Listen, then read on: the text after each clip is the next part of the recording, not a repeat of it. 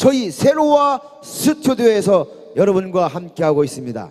자 이번 무대는 특색 있는 무대로 네 요즘에 에, 장고가 대세인데요. 트로트 장고와 함께 아, 우리 유진 가수가 가요 메드리를 엮어서 여러분께 선보이는 순서입니다.